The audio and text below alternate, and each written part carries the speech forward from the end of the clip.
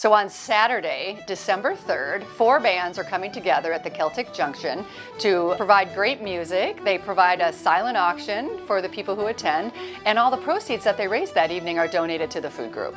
The food group is a food bank where our primary responsibility is to deliver good quality healthy food to food shelves and meal programs primarily in the Twin Cities metro area.